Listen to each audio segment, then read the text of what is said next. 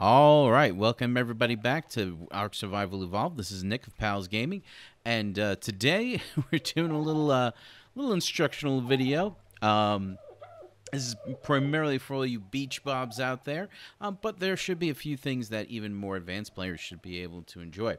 Uh, this is the first of our Arkpedia this is the first of our Arkpedia videos. We're going to do one of these on each and every one of the dinos in Ark, and so we're better to start than with our friend, the Dodo.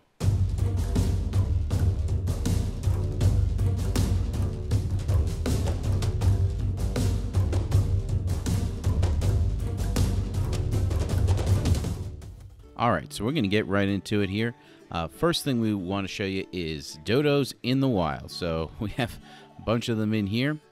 And uh, dodos are pretty easy to kill. You could do it with your bare hands. Just walk up to them, punch them in the face until they drop. They're super loud, and uh, when you start hitting one, they all start freaking out and running in every di direction. Uh, if you punch them, they're generally going to go unconscious before they die. Um, now, for taming, easiest way to do it is just drop some Mejoberries in their inventory. They are a knockout tame. I do have the taming rates up pretty high right now. um, but, new dodo. Perfect. They do prefer basic kibble and even vegetables, uh, but we'll get to that in a little bit. Um, another way you can knock them out is by smacking them with a club or by hitting them with rocks from a slingshot, which I do not currently have. You can also use a bow with tranquilizer arrows, which, if you haven't made those yet, you just combine an arrow with tranquilizer, which you can make in a mortar and pestle. Uh, you can also use a crossbow, uh, which I just did. Right there. And uh, crossbows do more damage, both torpor and regular damage. You have to be careful. Uh, if you get a high damage crossbow, you can um, sometimes kill them before they get knocked out. And of course, the most widely used method of taming just about anything is the long neck rifle, uh, which you use the tranquilizer darts, which work very quickly. And of course, it's a little bit overkill, but you could, of course, use shocking uh, tranquilizer darts on dodos. Um, I don't recommend it, especially when you're prone to miss at point blank range for some reason. Uh, but it's definitely a thing you can do. And of course, there's always the boomerang if you happen to be on a map that allows you to make them, uh, like Scorched Earth. You got to be careful with them. Sometimes they do a bit too much damage, though. So the low-level ones, you're better off just punching them. Um, when you're harvesting, like always, use pickaxe to collect uh, more meat. And of course, uh, if you use an axe, it will collect more hide, just like every other animal in the game. Uh, on Primitive Plus, you can also get feathers and poultry from these guys as well. Uh, so now this is an egg hutch. It's by no means the only way that you can build one, um, but this is a pretty standard layout. Uh, we have the ramps there. It's tough to um, have the eggs fall down in this kind of setup uh, just because they are hard to kind of maneuver where you want them to be.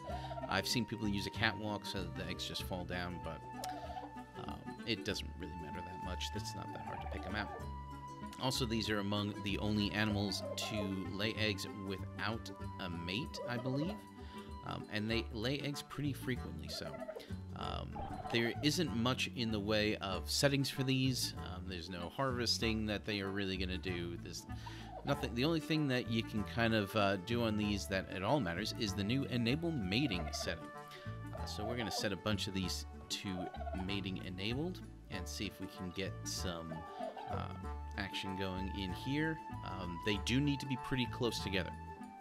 So these two here are, even though they're like right on top of each other, they're still hair too far apart. Um, so we'll see what we can do. Fortunately, you can always just throw the male in the direction of uh, whatever female you want. Uh, so it looks like that one is going to be mating. And uh, we'll check back in on them in a little bit. Uh, in the meantime, let's get these guys going. Enable mating, enable mating. Perfect. And uh, it is a little too cold here um, for dodo eggs to hatch. They need to be between 22 and 36 degrees uh, Celsius. I'll put the uh, conversion into Fahrenheit in the uh, description below. But we're going to grab this egg and get into what we really want to see, which is basic kibble. Alright, so basic kibble is the most basic of kibble recipes. Um, you uh, you can use it to tame a lot of the smaller dinos that you can that you use at the beginning of the game. Um, we're gonna get everything we can in here, and so you're gonna need amarberries. You need ten of them. You're gonna need a cooked meat, of course, an extra small egg, uh, five fiber, five mejoberries. Uh, you need something to burn, obviously, and 10 tintoberries. You're also going to need some water. Uh, here we have water jars, but you can also use a water skin. As long as it's a quarter of the way full, the water skin, it should work. And so now there you have it, basic kibble. Alrighty, we're to test this baby out. Uh, so we're to go back outside. Uh, sorry, we're still under construction here. Alright, this is the one uh, item that we didn't use before, which is the electric cattle prod. Bam! Out like a light. So we're to put the basic kibble in the inventory. And uh, wait until now. uh, like I said, taming rates are pretty high on this, but uh, it's not too bad. Um, now, extra small eggs uh, and basic kibble can be used to tame dilos, uh, which we're going to get into in another video. Uh, of course, dodos, and you can see she's already laid two eggs. She's only been sitting here a few minutes. Um, they're just fantastic egg layers. The Kairuku, uh, which is the denizen of the north, unlike in real life. They also keep you warm, but that's another video. Uh, parasaurs, yes, our friends who warn us from danger in early game. The Phiomia, of course, and the Mesopithecus, which is a passive tame.